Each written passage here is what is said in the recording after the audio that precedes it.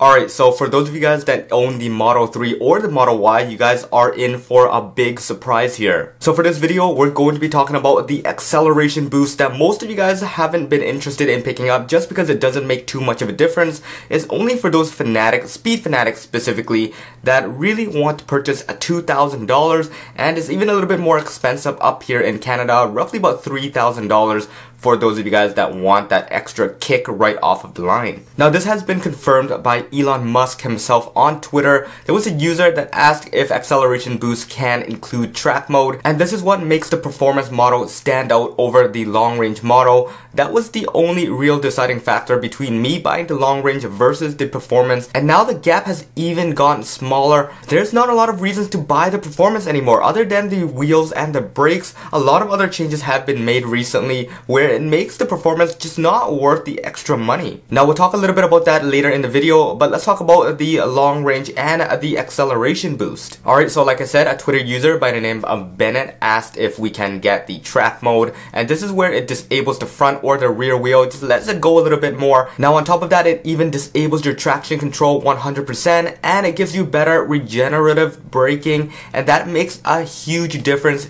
in the world of track. You want to make sure that your battery is cooled enough before you hit the track and that is something that the long range and the standard range models were lacking. Now at least the long range is going to be getting this feature. No words whether the rear wheel drive is ever going to get anything like that but from the looks of it it doesn't seem like Elon is ever going to give the standard range any love. That's just that. If you're going to pick up the lowest model most likely you're not going to get the top end features. So anyways Elon Musk decides to say okay and that gives us the confirmation that it will be coming up in in a later build. So a couple things to note here is that it's probably not going to get the top end speed. That is going to increase the limit uh, to what the performance has. Most likely this has to do with the motors themselves as well as lacking uh, the powerful brakes that the performance model has. So although you're going to get the track mode which is uh, the main highlight feature of the performance model, you're not going to get some of the hardware features outside. So that comes with the performance brakes, the red Brembo brakes, and you're not going to get the 20 inch induction wheels which look fantastic.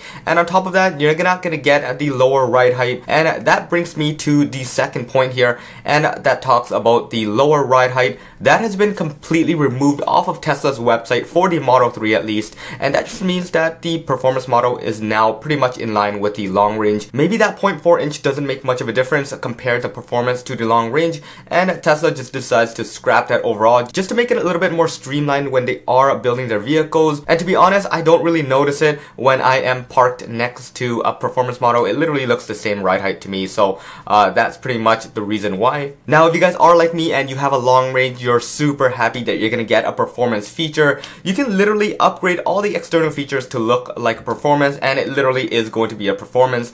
But for those of you guys that own a performance model, the Performance Model 3, you're gonna be a little bit sad here because there are a lot of negatives. Now, your car's not gonna be that much more special when you're right next to a long range dual motor just because it's going to have track mode, the ride height is going to be pretty much the same, and a lot of the differences are no longer different. So what do you guys feel about this? Let me know in the comments below if you guys own a performance model. How do you feel about this upgrade? Now that is definitely something you guys have to think about. I'm not sure how that is when you're picking up your car, but in my eyes, the long range is so much more attractive now, especially the range. And of course, for those of you guys that have the performance model, just know that you do have the performance variant and it is is the best of the best. It's still much quicker than the long range model, so you guys don't have to worry about uh, beating us off the line or anything like that. You're 100% gonna take off right before we do, so don't worry about that too much. But just know that a lot of the long range owners are gonna be a lot more happy, and you're gonna see a lot more of them at the red light with you